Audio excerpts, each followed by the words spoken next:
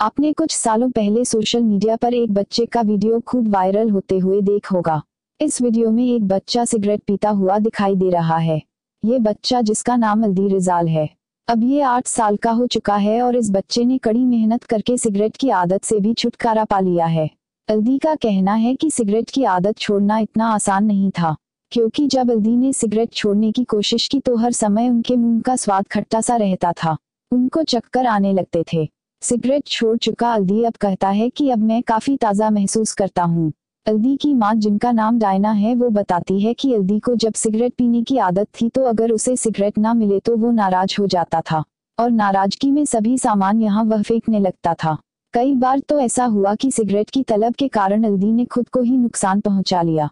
अल्दी से बड़े उसके दो भाई और भी है।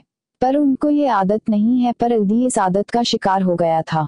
इंडोनेशिया में आपको करीब ऐसे कई बच्चे मिल जाएँगे जो तंबाकू की लत का शिकार है। अल्दी की माँ बताती है कि जब वो सुबह सुबह सब्ज़ी बेचने के लिए मार्केट जाती थी, वहाँ पर बहुत से लोग सिगरेट पीते थे और उन्हीं लोगों ने छोटे से अल्दी में सिगरेट की बुरी आदत लगा दी। आज के समय में अल्दी के अंदर से स्मोकिंग की आदत दूर हो गई है और वो साधारण बच्चों की तरह स्कूल जाकर पढ़ाई कर रहा है। पर इस स्मोकिंग की आदत को छूने के लिए उसको बहुत सारी कठिनाइयों का सामना करना पड़ा है।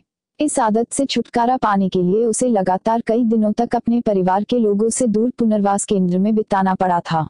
यहाँ पर national commission for child protection के चेयरमैन और चाइल्ड साइकोलॉजिस्ट डॉ.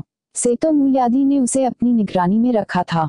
डॉक्टर बताते हैं कि अल्दी की सिगरेट की आदत को छुड़वाना इतना आसान नहीं था, इसके लिए उन लोगों को बहुत मेहनत करनी पड़ी।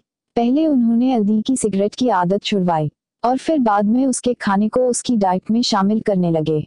डॉक्टर मूल्यादी का मानना है कि जिस बच्चे की इच्छा शक्ति मज़बूत होती है, वो बच्चा इस आदत से आसानी से छुटकारा पा सकता है।